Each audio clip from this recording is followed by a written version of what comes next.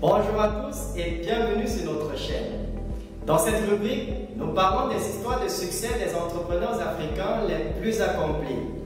Il existe une abondance d'opportunités de business en Afrique et notre objectif est de vous apporter de l'inspiration dans votre propre parcours entrepreneurial. Mais avant de commencer, n'oubliez pas de vous abonner et de cliquer sur l'icône en forme de cloche pour être averti des futures vidéos.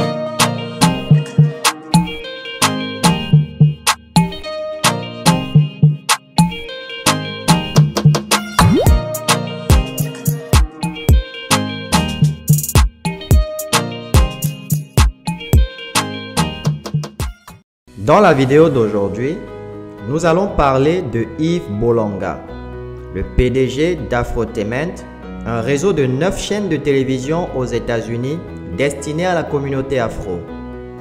Visionnaire, il est un homme d'action, un entrepreneur qui croit en l'avenir, mais surtout un bâtisseur ambitieux. Yves Bolonga est un nom qui résonne fort quand on parle de la promotion du Black Excellence fondateur et dirigeant d'Afrotainment, un réseau de 9 chaînes de télévision linéaires basé à New York destiné à la communauté afro, l'entrepreneur sait faire les choses en grand. Le Camerounais d'origine, après avoir investi plusieurs millions de dollars dans l'audiovisuel en Amérique du Nord, aujourd'hui travaille sur un gigantesque projet au Cameroun dénommé le Sawa Country Club.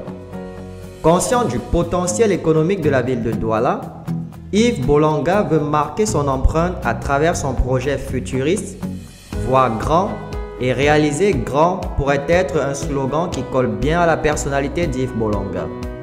Il est de cette race d'entrepreneurs pour qui le mot impossible n'existe pas. Diplômé de l'université François Rabelais de Tours en France, c'est aux États-Unis et en France qu'il fait l'essentiel de sa carrière professionnelle. En 1997, il s'engage avec une entreprise dénommée Brainsoft comme gestionnaire de projets informatiques. Mais c'est chez IBM qu'il passe près de 10 ans comme consultant senior qu'il bonifie sa carrière.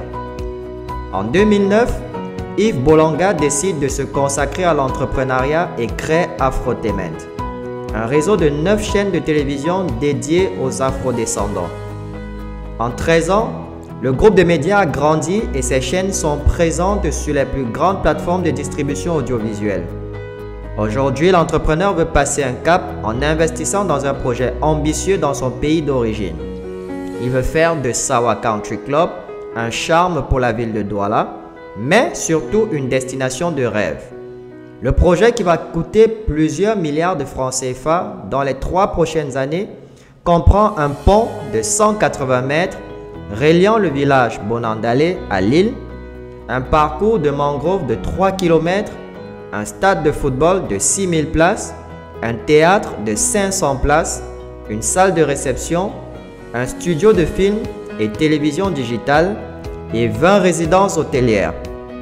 Un stade de football annexe, un gymnase de 800 places dédié au basketball, volleyball, handball et futsal un parcours de golf de 9 trous, 4 terrains de tennis, un parc thématique incluant divers manèges, piscines et jeux d'eau.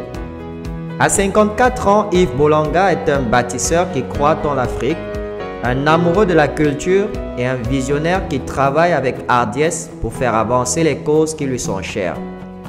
Chers amis, ceci conclut la vidéo sur Yves Bolanga. Si vous aussi avez une idée ou alors vous souhaitez lancer votre business, cliquez sur le lien en dessous de cette vidéo pour joindre notre formation accélérée en marketing digital. Donnez-nous un coup de pouce levé et rendez-vous dans la prochaine vidéo. Jusque-là, gardez le sourire.